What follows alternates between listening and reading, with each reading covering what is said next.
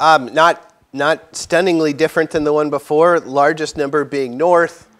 Um, so something I could have added, let me, let me just do this first. Uh, take, R, take negative R initial. R initial was, was down and to the right, so negative R initial is up and to the left.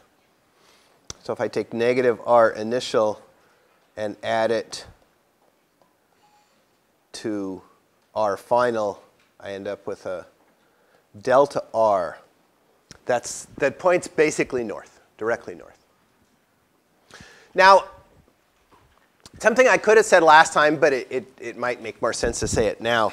You will always find out when you subtract vectors like this that the velocity vector as is always going to be tangent to the path. It is along the path.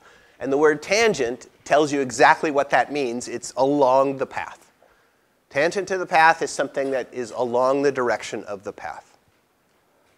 If You're over here on the right, car is currently traveling north. If you're up here at the top, the car has turned toward the west. In between going north and going west, it traveled all the directions in between as it came around this curve. At some point about halfway, it was headed northwest.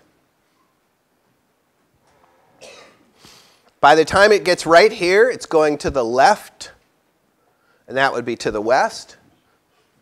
If you're going around this circle and the sun is setting, then you are looking to the west when you're up at the top there and the sun is right in your eyes. And when you're down at the bottom, uh, and you look in the rearview mirror, the sun is behind you because you are headed east.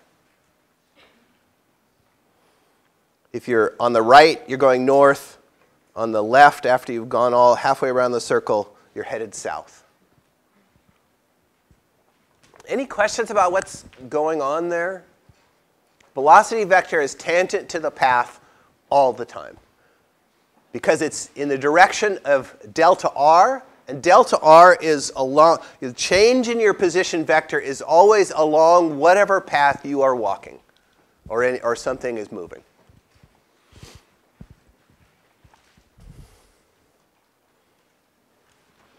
All right, so now we're going to get trickier.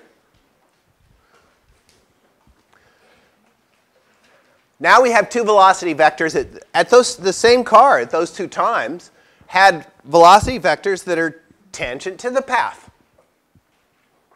The velocity vector right here is tangent to the circle right there, so it's upward and to the right.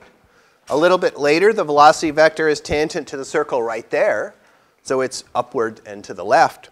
The first one, v initial, is north and to the east. v final is north and to the west. That's why halfway in between we had v just north.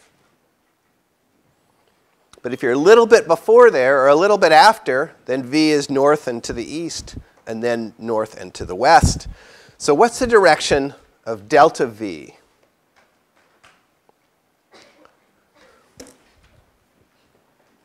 However you want to work it out. Although one straightforward way is V final, add negative V initial.